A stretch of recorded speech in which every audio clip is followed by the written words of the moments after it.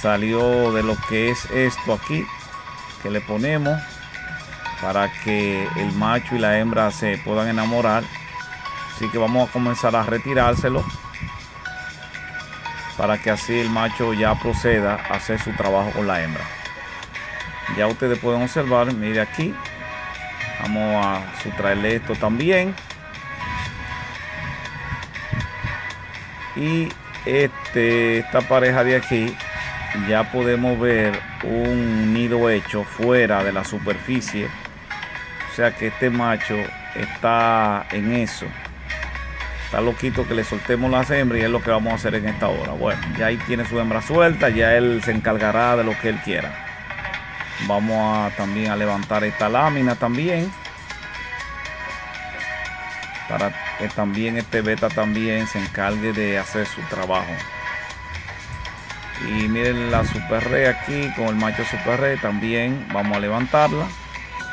Y vamos a dejarla aproximadamente dos días es lo más recomendable que se le deja el macho y la hembra. En dos días vamos a regresar a ver qué ha pasado porque en dos días es lo que podemos. Vamos a taparlo y en dos días regresamos para ver qué ha pasado, si sacó los huevos o si no sacó.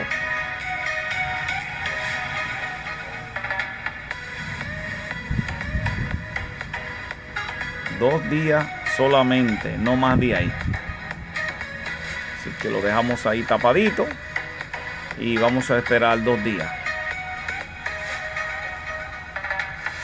Bueno, han pasado aproximadamente dos días.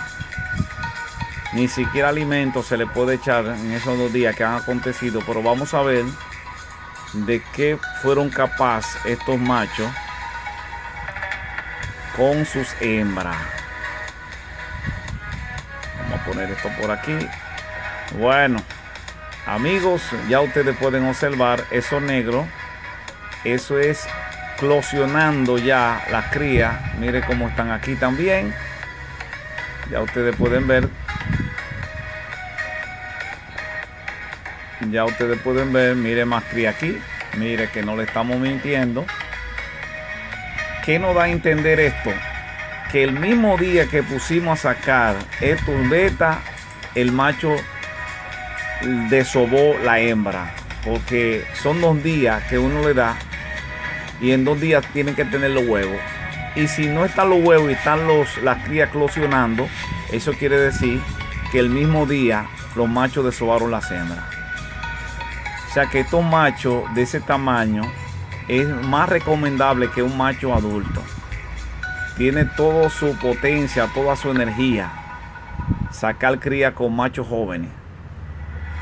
Así que vamos a sacar las hembras para que ellos no las sigan maltratando. Y vamos a echarla en este envase para así de echarla en otro envase más amplio. Ya ustedes pueden ver nuestras hembras están un poquito maltratadas de cola. Y mire cómo se ven ya eh, los huevos closionando ya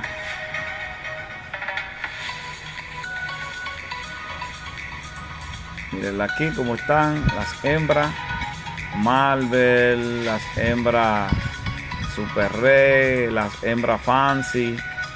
Y vamos a echarle en esta pileta. Esperando que este corto video le guste a cada uno de ustedes y ustedes puedan compartirlo. Así que vamos a proceder ya a taparlo. Así que Dios le bendiga y Dios le guarde. Hasta otro video.